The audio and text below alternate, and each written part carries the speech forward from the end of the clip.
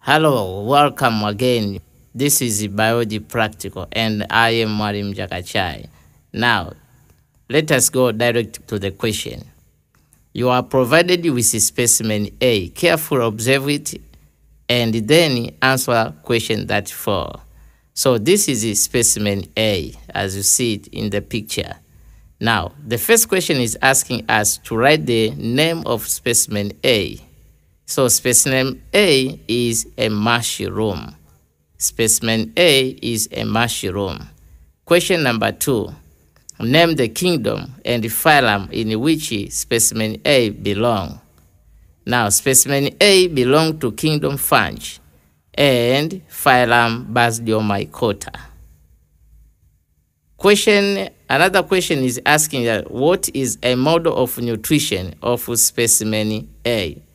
What is a model of nutrition of specimen A?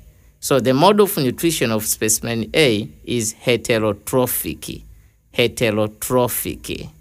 Another question is asking us state three economics importance of the specimen A. So the following are the economics importance of specimen A. Some mushroom, remember that the specimen A is a mushroom. So some mushroom are used as a food. Some of the mushroom are used as a food. Um, another economic importance is that some type of mushroom are poisonous and may cause death if eaten. The last point is that feed on dead organic matter, hence increase soil fertility. Some mush mushroom feed on dead organic matter and hence increase soil fertility. The last question is asking us to draw a well diagram, a well labeled diagram of specimen A and state the function of each part you label.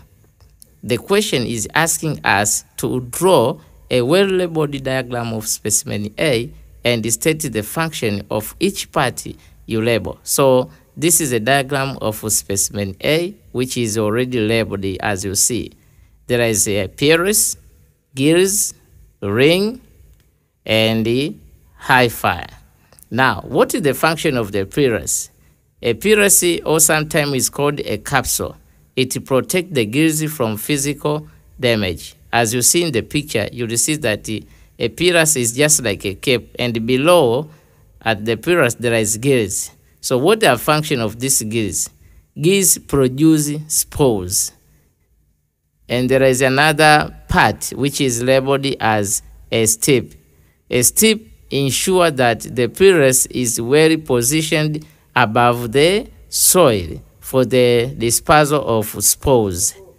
And uh, the last part is hyphae. Hyphae is used for anchorage and absorption of nutrients. So they act like roots.